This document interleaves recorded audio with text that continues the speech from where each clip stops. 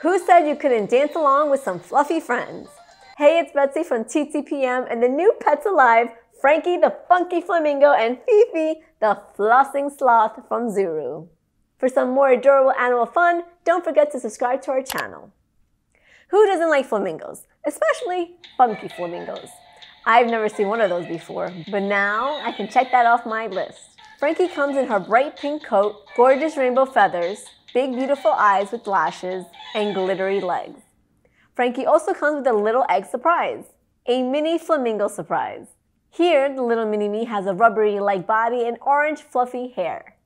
The fun is straightforward. With just the press of a button on the left wing, Frankie dances to three different songs. With a flap of her wings and a twirl of her neck, she'll dance her feathers off beside you.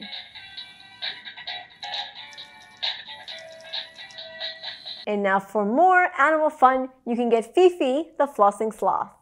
I never really thought sloths were cute, but this one for sure changed my mind.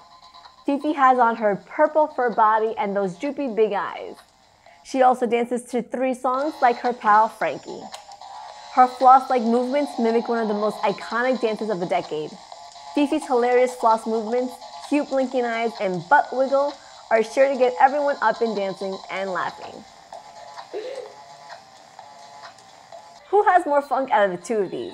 Let me know in the comments below who would win the dance competition. My pros? Small children would love how silly both toys are. I like that there is more than one song to play, and it gets kids active and moving. As for cons, I have none.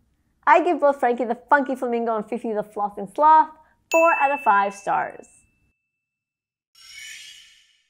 Now don't forget to subscribe to our YouTube channel for more fun reviews.